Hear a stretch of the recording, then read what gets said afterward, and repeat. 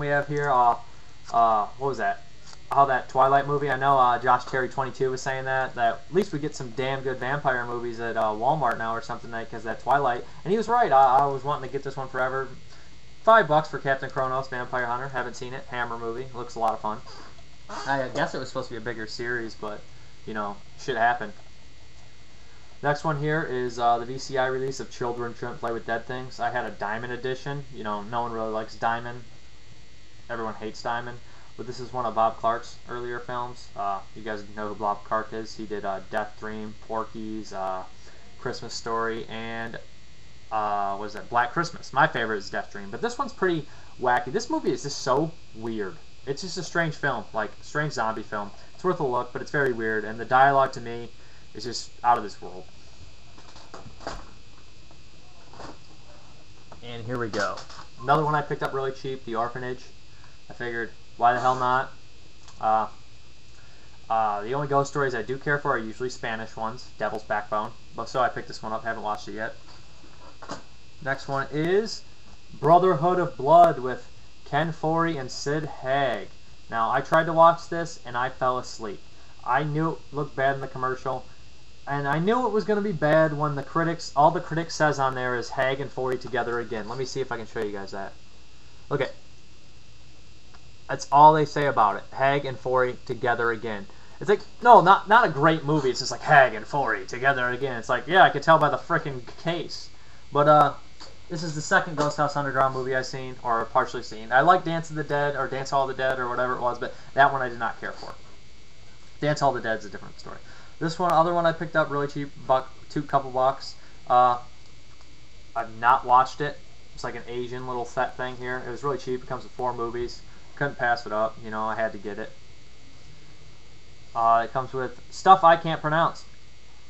So I'll just show you guys it instead of making myself look like a bigger jackass than I already am. There we go. Nice set for two bucks, you know. Slim cases in there. Then this other one I had on Diamond DVD, but who likes Diamond, like I said. I picked up the Elite edition of Mutant. You know what? When I watched the Diamond DVD, thought it was just mediocre. Wasn't that great, but hell, it just probably, it was probably cut the shit and I probably couldn't tell what was going on. So I picked up this one for, I think it was like $4 with shipping, so Next one here was three bucks at Big Lots. It's uh, Vampire Hunter, Hunters or whatever. I don't know. Maybe it's like a take on uh, Vampires by John Carpenter. I'm not sure exactly what it is. Maybe it looks worth three bucks. The next one here, I had the VHS for a long time. Uh, it's a Larry Clark movie that is completely not like his other work. It's not like Bully or Kids, but this is uh, Teenage Caveman. This movie is pretty bad. Ooh, the phone's ringing. Guess who's not answering that? But uh, Oh, looks like I'm to have to. Anyways, Teenage Caveman's not that great of a movie, but it is somewhat of a guilty pleasure. The least they could do is answer the phone upstairs for me.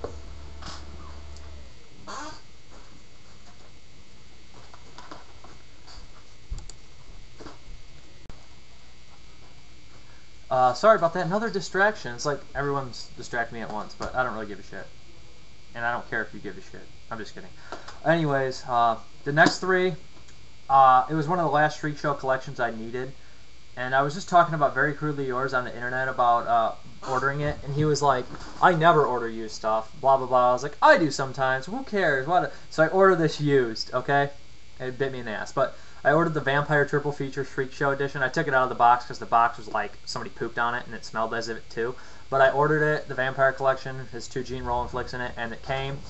And the the cardboard box that was holding the stuff was all mingled, and it smelled like poop. I kid you not, the box smelled like dead cat or something. So I was like, okay, I'm switching these out immediately. But here's the films. Uh, the Fiance of Dracula. I've never seen it. It's the Jean Rollin one. Looks all right. Build up my Freak Show collection. Build up my Jean Rollin collection. I'll have to get those uh, new re-releases of like Lips of Blood and Requiem for a Vampire and stuff. I want to see those.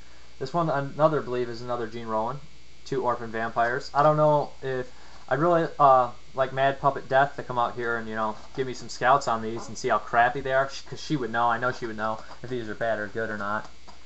Uh, I know she she knows quite. A, I my guess is she has quite a bit Jean Rollin flicks. So this other one is the Central Plains uh, Drifter, aka Graveyard Shift. I always remember uh, seeing this one next to Graveyard Shift by Stephen King and wondering what it is, and I was like, no, I don't want that one. I want the one with the giant rat. Yeah, I was a weird kid. But, anyways, I've never seen this one. Uh, it doesn't look too good, but that's that. What do you want, right? Uh, Alright. Coming towards the home stretch, some pretty bad movies here. Three Bucks Big Lots, never seen Money Lives. Mummy Lives.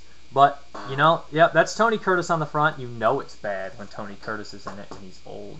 Except for that movie Immortals. But here's another one, Dimension Extreme, picked up. Pretty cheap. I just kind of like, I, I saw a commercial like this. Looked like it was bored me to tears. It is The Killing Gene. I picked it up because I have quite a bit of the uh, Dimension Extreme. Oh, good thing that was a piece of crap. This movie, I was kind of like coerced by my friends because they couldn't stop laughing at it to get it. It was like $2. It is Mexican Werewolf in Texas. Oh, it's an unrated director's cut. As if they probably didn't even shoot enough footage to keep it and they just added all the footage in they had. I don't know. I shouldn't make fun of the movie. It looks a lot of fun, so there we go. This other one looked absolutely hilarious. Blood Gnome, same thing. My friends were like, you gotta get this. And I could not stop laughing at those little gnomes on the back, so yeah, got Blood Gnomes.